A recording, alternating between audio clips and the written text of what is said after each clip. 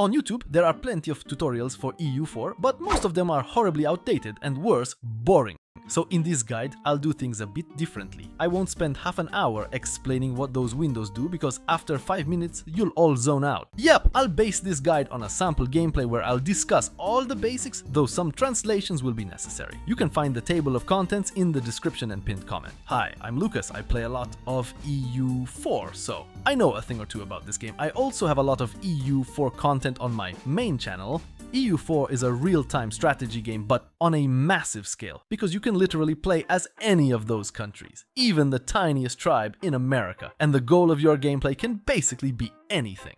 To enjoy the game, it's worth having most of the DLCs. The game without them is painfully bare. If you only have the base version, I recommend getting a subscription to see if the game is for you. Unfortunately, if you have the version on the Epic Store, there's currently no subscription available there. I've prepared a list for you, which will guide you on the order to acquire DLCs. Red ones are a must-have, green ones are also necessary, but can wait. Those marked in yellow focus on introducing various EU mechanics for specific regions or countries. Before buying, I suggest checking checking what each DLC adds and whether you think it'll be useful in your gameplay. When it comes to the language version of the game, by default it is not set from the game level, but from the launcher level when you enter the game settings and you have language versions here, but they are very limited. Fortunately, there are unofficial translations into various languages in the workshop, for example, Polish version. What is important is the date of the last update and checking whether there was any patch after it. Then you subscribe, wait for it to be downloaded, and then create a new set. PL, search for mods in the set, add the Polish version you are interested in, add it to the set, and select the set that contains the mod for the Polish language version. You got it! EU4 in Polish and the Polish version is quite okay. You have to check other languages yourself. However, I'll still continue recording in English because I learned this game in English and this guide will also be in English. To start, I advise you to go through the tutorial. I even went through it, and it teaches such basic basics as moving units. Then you move on to a normal gameplay lobby. Here, two elements are really important for you. In the top left corner, choose the starting date of the gameplay. Initially, you're interested only in the 14 44 date. Then at the bottom, Paradox has prepared a list of recommended countries. The first three are considered good for beginners. Unfortunately, that's not entirely true, except maybe for Portugal. Personally, for your first gameplay, I'd recommend England, France, or Poland. For the purposes of this guide, I chose England because if everything goes wrong, you can always isolate yourself on the island. If it's your first gameplay, I'd use standard settings and definitely wouldn't make it easier for myself because you might not notice how some basic mechanics work. The quicker you figure them out, the sooner you'll conquer the world. You can set the gameplay mode in two modes, normal or Iron Man. Iron Man is a mode where you have one save file that keeps getting overwritten and only in this mode can you achieve achievements. For the first game, it's better to choose normal, and I advise against posting screenshots of your approaches on normal because everyone will think you cheated.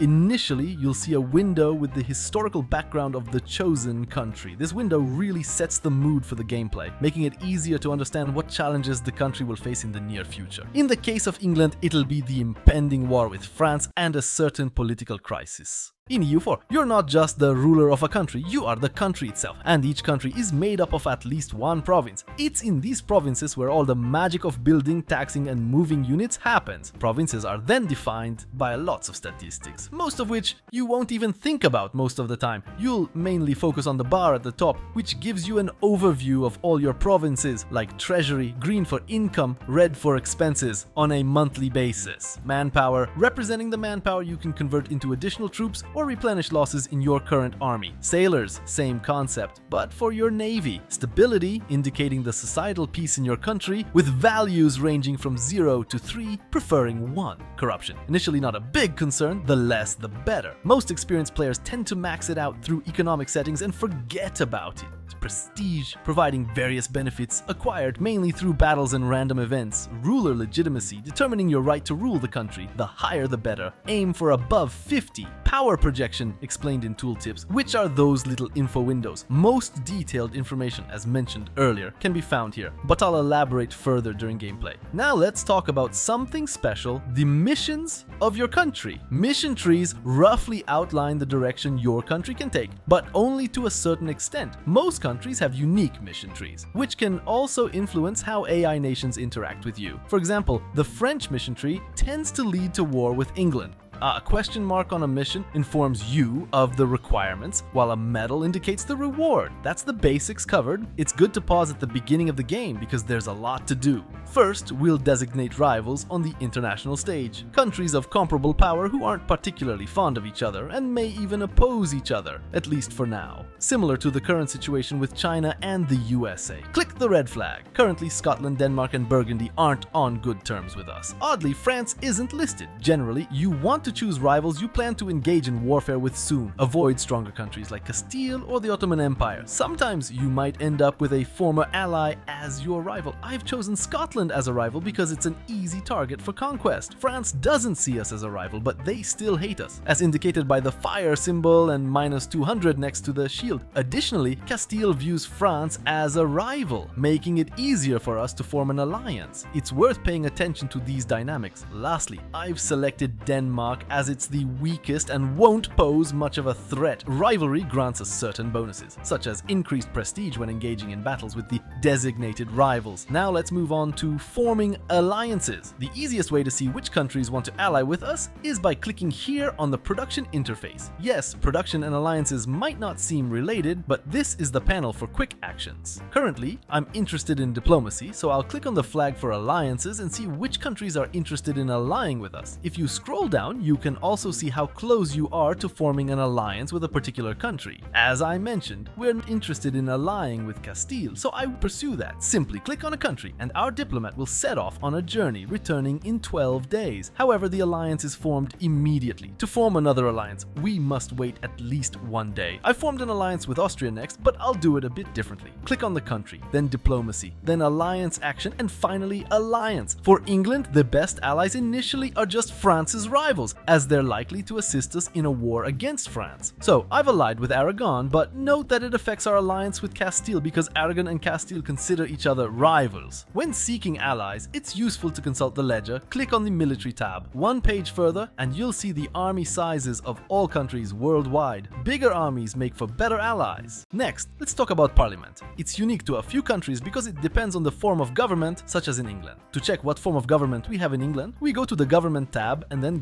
governmental reforms. We have an English monarchy. For instance, Poland also starts with a parliament. In parliament, you can conduct debates. Some offer cool bonuses, but most don't. You'll get the hang of it over time. Until you start a debate, reforms change monthly. Members of parliament represent specific provinces, as indicated when you enter a province. You'll see a chair there. See it? That's a representative in parliament. York already has the option to assign a new seat to parliament. You can leave it on automatic, the game handles it quite well, or you can add seats yourself, as it provides really cool bonuses for the respective province. Initially, it's worth adding provinces with trade bonuses. To check that, go to Economic Maps and Trade Maps. Look for, oh, that square or that one or that one. Let's take an example of a debate. It's quite alright. It's good to have cheaper advisors. Now, the debate process begins. Initial support is always random, and you must persuade representatives of specific provinces to support your cause. This comes at a certain cost though. Generally avoid autonomy and crown land, the worst thing that can happen is dismissing an advisor too. The rest is usually acceptable. When you reach 100% support, the law takes effect and lasts for 10 years. After those 10 years, the process simply repeats. Next, your advisors. Because initially, you don't have any. First, an administrative advisor. It's worth checking which advisors we have and how much they cost. England starts with a guaranteed advisor, who's half price. I'll hire him. Additionally, a advisor for social unrest is always a good choice. Then, a diplomatic advisor, also guaranteed to be cheaper. Having diplomatic reputation is very useful. Here, a trade advisor or a relations booster might be useful. Diplomatic reputation makes it easier to form various international relations, like alliances. Next, a military advisor. No cheaper option here, but I know England is a wealthy country, so I'll hire a level 2 advisor advisor here, preferably one with discipline or morale bonus. We have advisors, but why do we need them? Apart from granting us these bonuses they have, advisors are one of the two main sources providing us with monarchy points. Monarchy points include administrative, diplomatic, and military points. Hover over these points for more information. Everything regarding how you obtain and spend them monthly is listed here. Monarchy points are crucial and you'll spend them on various things. I'll talk more about this later. The second source of such points is our ruler. In the case of England, we have a very weak ruler because we don't get any points from them. The maximum possible value of ruler points is 6, 6, 6 and for advisors it's 5, 5, 5. You increase the level of advisors with money by clicking on the star. Currently I don't have money, so I can't do that. Increasing the level of course increases the monthly salary of the advisor. Unfortunately we can't upgrade rulers like that. Once every 20 years we can change our court's focus in some aspect. I'll focus on military actions for now. And here I lost a point, here I lost a point, but here I gained two.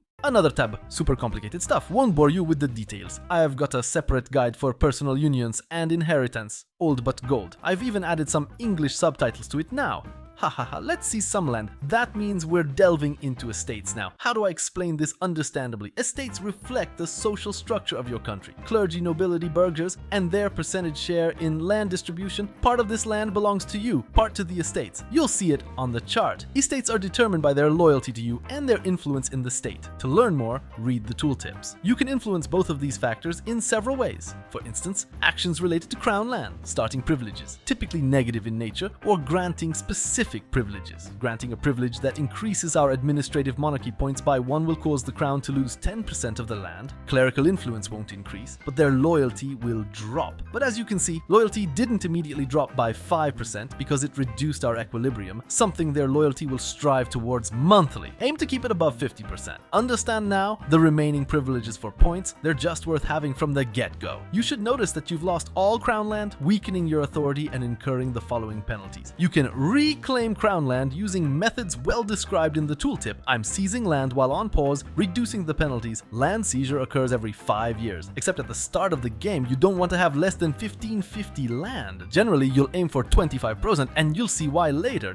Now I'll distribute the remaining standard privileges. It's wise to assign cheaper advisors in each estate. Then there are these individual privileges, like for the clergy, religious diplomats, for the nobility, supremacy over the crown, for the burghers, increased prestige initially initially might be useful, as well as taxing the burghers. And this privilege specifically gives us in national decisions where we have the opportunity to get cheaper buildings. Unfortunately, burgher support decreases. For now, I don't need it, because I'm broke anyway. You can revoke privileges too. You'll find more information about that in the tooltip. For most privileges, you'll simply need higher loyalty than the influence of the given estate. When the loyalty of an estate falls below 30%, it starts giving you negatives. The larger the influence of the estate, the greater the negatives. Above 30% loyalty, an estate will start giving you bonuses. The higher the loyalty and influence, the greater the bonuses. Another thing is completing missions for specific estates. We can do this every 5 years and it's worth doing positive effects here last for 20 years, and usually you want to complete a mission that either gives you money or gives you the opportunity to have a cheaper advisor. For example,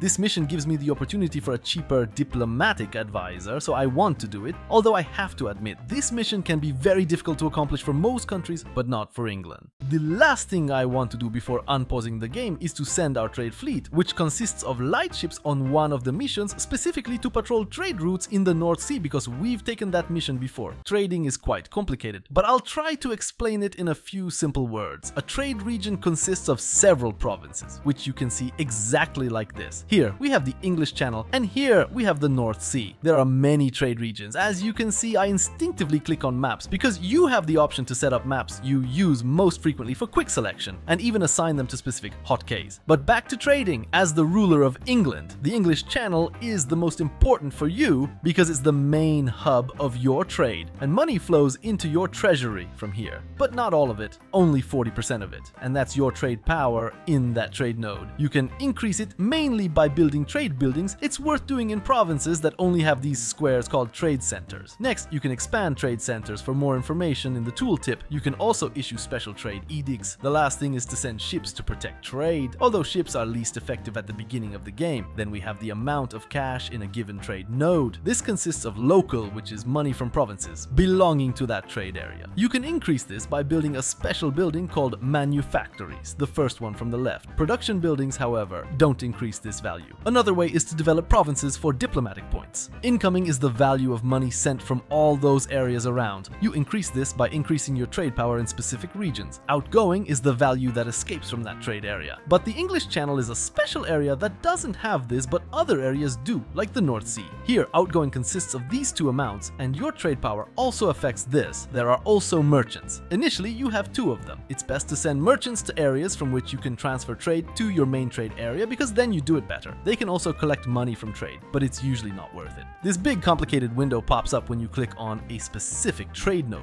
Here are all the detailed information, but I think what I've told you so far should be enough to get you started.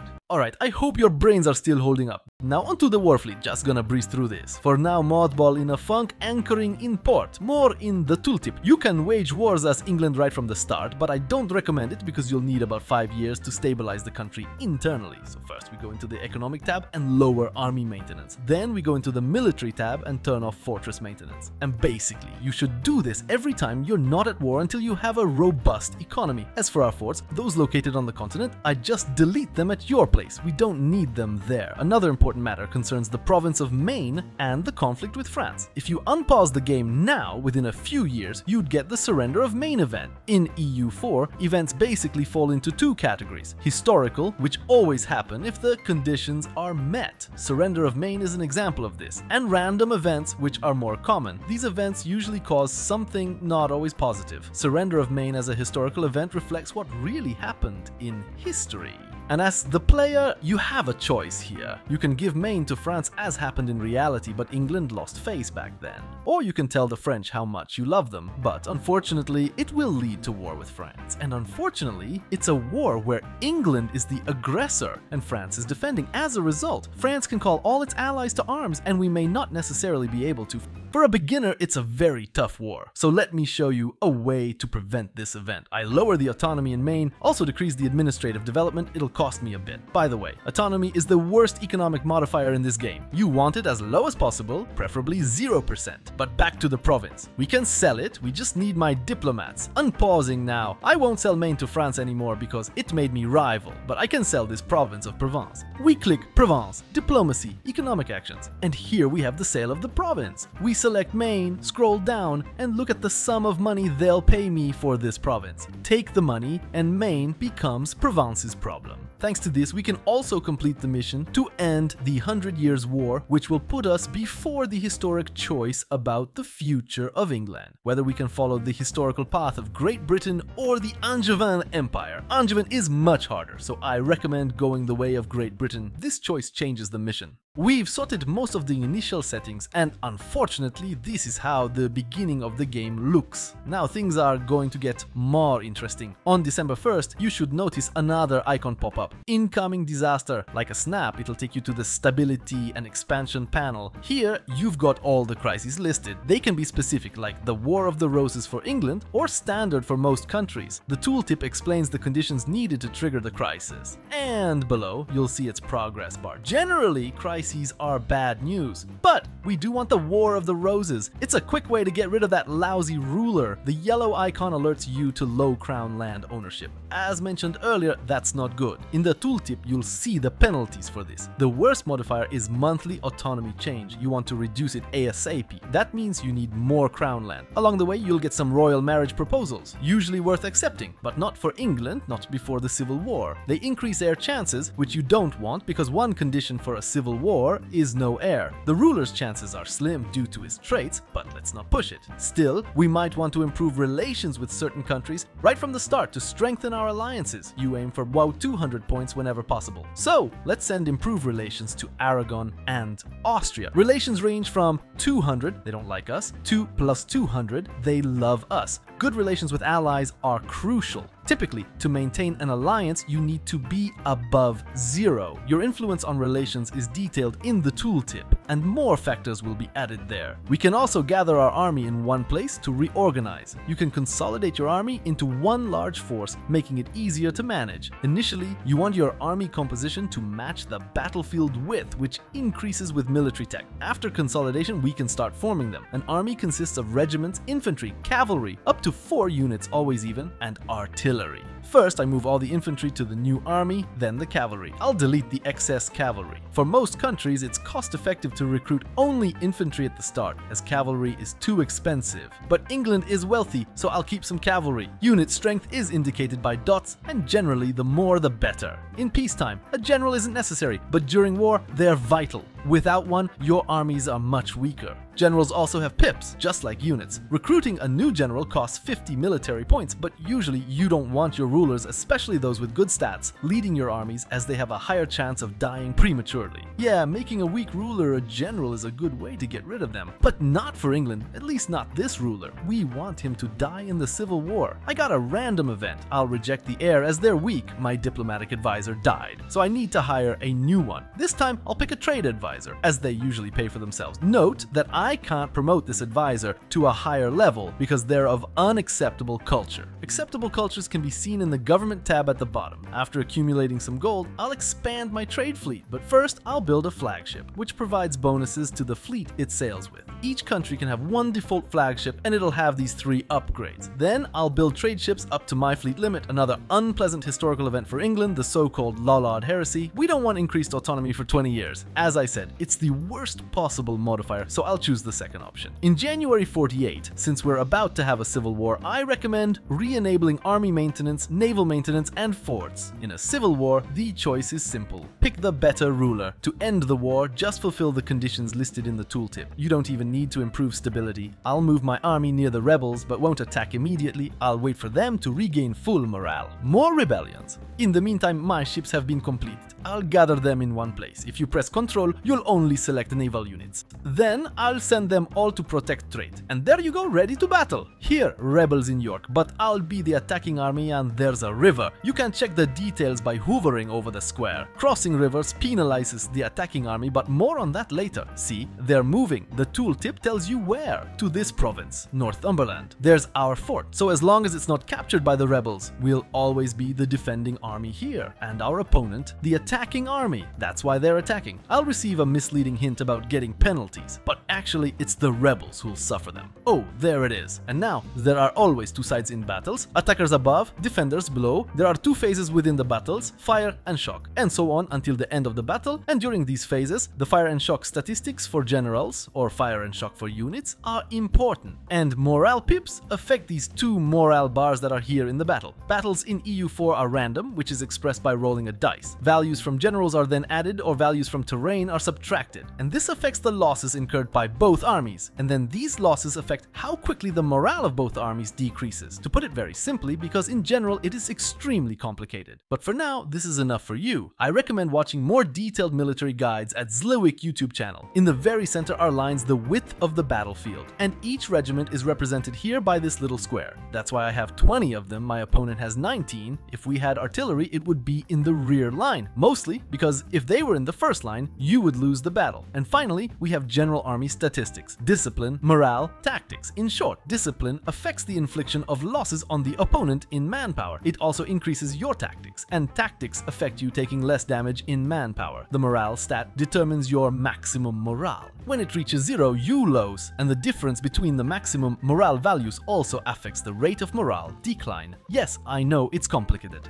To put it simply, have larger armies with better stats than your opponent. And now I will deal with defeating subsequent rebel armies. Now I need to transport part of my army to the continent. We can do this in two ways, with control. And then your transport ships will automatically start carrying troops if you have this checked for your transport ships. Or you can manually transport your army yourself. You need another transport ship for every thousand regiments. To help myself a bit, I decided to recruit mercenaries because this is the second resource we can have. Here is a normal army army, here are mercenaries. There are many types and types of them. And basically, the mercenaries have the technology of the countries you recruit them from. If you click on it, you will find all the information in the tooltip here. Quite okay for me, there will be Swiss Guard. And I actually forgot to tell you something. My army fought a battle and suffered losses. And these losses are supplemented from the pool of manpower that we have. And we mainly increase this pool by building these buildings or this factory. Since two of my provinces are under rebel occupation, I sent two units units to retake them. A thousand troops are enough, in theory, to retake our province in Calais. Now, we could obtain a military passage from Burgundy. However, this is not possible because he is our rival. Since I don't control the port of Calais, my troops must land here. Something like a tiny D-Day. As for mercenaries, they have their own separate manpower pool. They don't use the main one right here. When it drops to zero, it will slowly regenerate, but it is better to disband the mercenaries then, because in 10 years they will recover 100%. It is worth using mercenaries, especially during the first 50 years of the game. Then over time, the further into the game we are, the more expensive they become. As a result of negative events, I will soon have a loan. And let me tell you honestly, instead of taking a normal loan, let's take advantage of the special privilege that gives me 5 very cheap loans. You can also use mercenaries to be the first in battle. See, they arrived on the battlefield a day earlier, that's why their units are in the first line and suffer the main losses. Then you can save your main manpower and the end of the civil war. Before doing so, however, it is worth taking the risk of stability, at least plus 1. I use administration points for this and the lower the stability, the cheaper it is to raise it. That's why I make a plus 2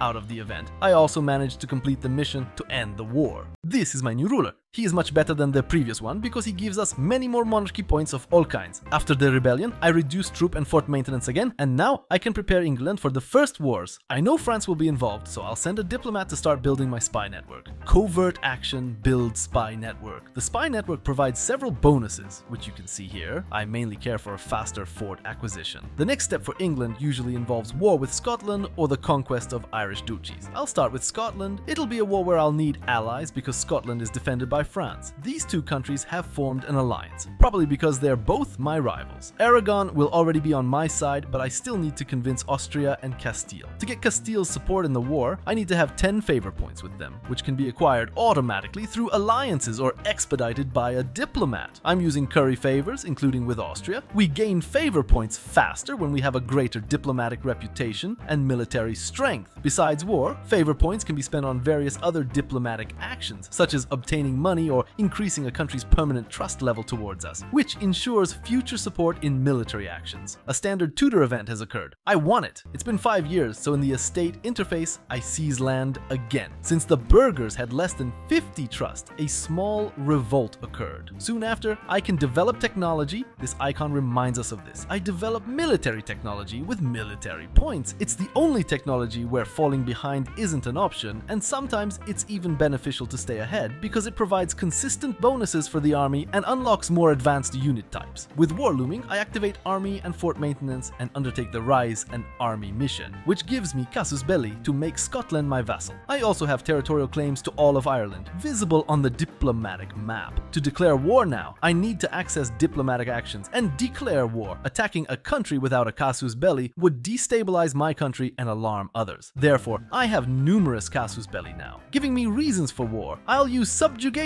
for this war. If I fulfill the war goal and win, Scotland will become my vassal. Additionally, I'll call upon Aragon and Castile for war, but Austria won't support me due to their ruler's negative trait, cruel the unnoticed Irish duchy opens new possibilities for me. War with France isn't cool. I mean, not for beginners, because I enjoy the pain. Instead of attacking Scotland, I'll go for the Kildare Duchy. Their combined armies stand no chance against mine. If you check that box, it means you're also attacking Scotland, and then it will call France for help, and I don't want that. I attack. I'll divide my army in half and besiege the Scottish fortress. I'm gonna need my fleet, so I deselect this option. Sieging a fortress means that I need to use a minimum of 3,000 of my soldiers for each level of the fortress. If I don't do that, I won't make any progress in the siege. At the end of each cycle, there's a chance to randomly draw one of the things listed here. Initially, these will be bonuses for siege progress. The higher the progress, the greater the chance for a more favorable draw, including the fall of the fortress. Here are several modifiers affecting affecting the base percentage chances. Initially, it's the commander's siege ability. Unfortunately, John Talbot has zero. Also, if you move the fleet here and it's large enough to achieve 100% coastal blockade, it will affect these chances. If the fleet has enough cannons, you can bombard the fortress, destroying its walls and then commence the assault. It's better to reinforce with more soldiers before the assault. However, maintaining such a large number of troops in enemy territory increases our attrition coefficient, meaning I lose over 4% of soldiers from 20,000 each month which is bad.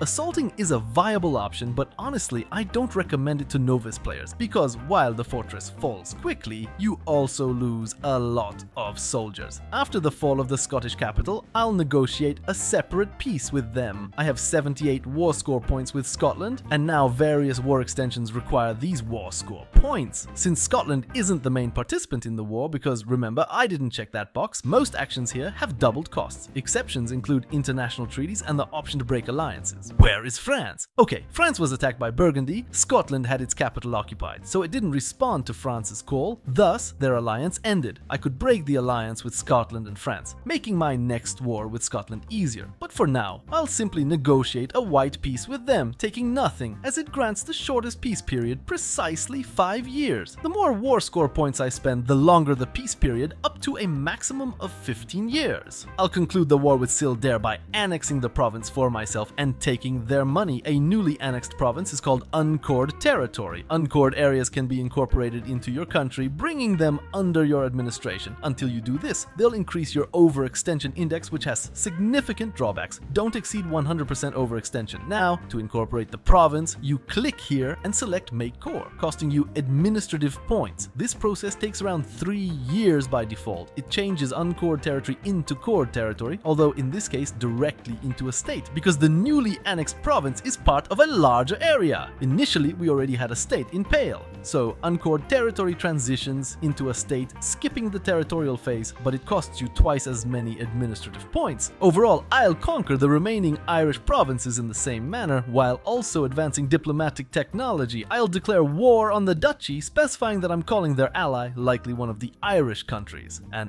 I attack and repeat and repeat numerous times. But you don't have to conquer Ireland all at once. Ireland conquered. Now, as you can see, I am coring all the provinces. I now have the opportunity to reform my country. These reforms have several levels, with each subsequent one requiring the previous one to be developed. In the age of discoveries, it's beneficial to focus on tax increases. You can check which age you're in here. You can enter here and see what ages you'll have next. However, taxes aren't as effective in later ages, so I changed to either this or that reform. You carry out reforms when you accumulate a sufficient number of reform points, which you gather faster with lower average autonomy in your country. Conquered provinces also have increased unrest due to their separatist tendencies, so I've left the hired army here to suppress these rebellions. You can find information on separatism in these unrest details. It decreases over around 30 years, since my peace period with Scotland has ended, as indicated by the absence of a certain flag that would normally be here. Look, France has such a flag here, so I declare war on Scotland to make it my vassal. Finally, to prevent my army from suffering losses due to high attrition, I divided it into two smaller parts. I end the war with the Scottish allies separately, taking their money and war reparations. Because I used the casus belli to make Scotland my vassal, I cannot conquer its provinces. But when I mark that they are already my vassal, I can take provinces from them, but it's not worth it. An additional positive aspect of ending this war is gaining a lot of prestige, while the negative is acquiring a large amount of aggressive expansion. Aggressive expansion is a special modifier that aims to counteract too rapid expansion and can lead to coalition formation. Coalitions are a special type of alliance aimed at destroying a specific state that has generated at least 50 aggressive expansion points with at least 4 countries, and these coalitions can be dangerous. So in this situation, check which countries have a chance to join a coalition against you. I could talk more about these, but it would require a separate guide. The unification of the British Isles is behind you. And now what? First, deal with Scotland and start improving relations with them, which are currently very bad for understandable reasons. In the Subjects tab, you'll also see that this vassal is very disloyal and has high independence desires. You have until the end of the peace period with the Scots to reduce their independence desires to below 50%. If you don't do this, the vassal won't pay you a monthly tribute. Worse, one of your rivals, such as France, may support their independence desires, leading to a war of independence. When you hover over the liberty desires, you'll see what affects them. Additionally, you can decrease them by interacting with the vassal, paying off their debt, or using prestige to reduce their desires. As a last resort, you can also develop the vassal's province. Speaking of developing provinces, I have a lot of points already, and I also need to introduce the Renaissance Institution. Institutions are a special mechanic simulating technological development worldwide. Each institution has specific conditions for its appearance, and once it emerges, you'll receive information about its location and benefits. Not having the current institution required for a given time period increases your technology costs, which accumulates, so it's generally advisable to introduce them as quickly as possible. Shaded provinces indicate that the Renaissance institution is slowly spreading in your country. You can check the progress and influencing factors by clicking on the province and examining the percentage progress and its determinants. You can expedite this process by implementing the appropriate edict, but not right now or developing provinces. Boosting each development point accelerates progress, and more developed provinces introduce the institution faster. Developing provinces involves raising each of these points separately, with all bonuses displayed in tooltip. First, you want to reduce this cost as much as possible. You can do this, for example, by developing infrastructure. However, be cautious and use this approach in the best provinces. For England, these are the provinces containing trade centers. Infrastructure increases the province management costs, which you can view here in the Stability tab. Governing capacity, and currently those negatives aren't visible, but they hurt. As a rule, you don't exceed it. Governing capacity increases later with technology ideas and buildings. Another thing is a special edict that specifically reduces the cost of province development. You can also extract 10% from the burghers if it's at 60-60% here. I can't fix that right now.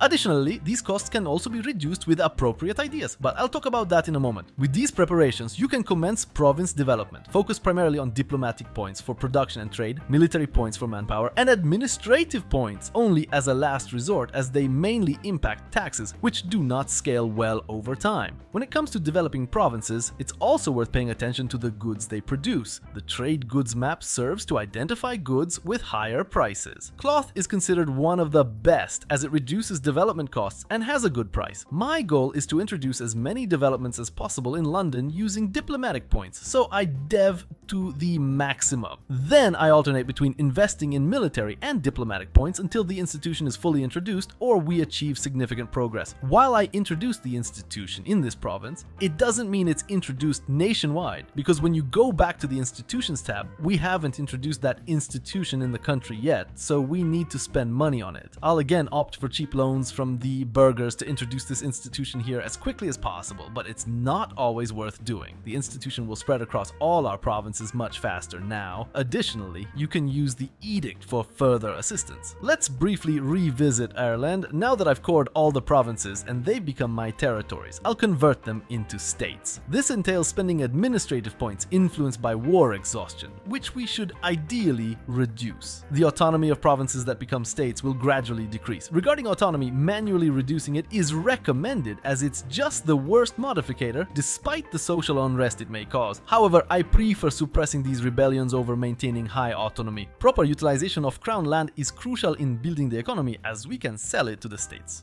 It's best to sell when we exceed 25% as more land decreases its value. After selling, we should aim to quickly return to over 20% to avoid autonomy penalties. Other penalties are insignificant. Whatever remains can be used to initiate construction projects in the country. Remember, you can reduce construction costs in the National Decisions tab by utilizing the privilege you granted to the burghers. In England, I'd prioritize constructing trade buildings in every trade center initially. It's not worth doing so in provinces without this bonus. Then, I'd build churches in all provinces until they reach about the Joint 9 development level. As for production buildings, focus on goods other than fish, wool, grain, and wine, as these typically house structures that enhance manpower resources. Upon advancing to the fifth military technology level, we gain access to more advanced unit types as indicated by this flag. The process is quite straightforward. Navigate to the military tab and update unit types to the latest ones available. More pips equate to better units. Using outdated unit types would render our armies ineffective. Shortly after, you'll be able to introduce the fifth administrative technology level, which is pivotal. The sixth level introduces production buildings and manufactories, by the way. However, the fifth level allows us to delve into the ideas tab at long last. Here, you'll find national ideas, unique bonuses for your nation achievable through gameplay and the development of overarching ideas you can select up to 8 throughout the game. For England, I'd initially recommend focusing on country development, namely infrastructure and aristocratic ideas, which when combined offer a compelling policy. You can enact policies in the National Decisions tab provided you've developed two complete ideas. If colonization is your aim, opt for the ideas displayed on screen, prioritizing exploration first and foremost. These ideas feature colonists, crucial for colonizing the new world, and enable the recruitment of conquistadors and explorers, specialized command units essential for exploring new territories and seas. Without them, exploration would be near impossible, unless you acquire this knowledge through other means. Of course, you can interchange these two sets of ideas or select entirely different ones to try something new for England. Nothing is set in stone. I believe I've covered most of the basics needed for enjoyable gameplay. Let me know how many times you made that face while watching this guide. After completing the England campaign, consider playing with other countries to see what unique features they offer. Subsequently, you can explore additional starting campaigns in different regions of the world, although I advise against the New World for now. On my channel, you'll find plenty of guides worth checking out. Alternatively, you can watch sample gameplay videos where you can emulate my strategies. From other creators, I recommend looking into Red Hawk's content. He features many unconventional campaigns and provides valuable insights, as well as a few other intriguing creators. I also suggest watching the episode episode on the Netherlands, as it offers valuable insights into colonization and economic development, providing inspiration for your continued gameplay with England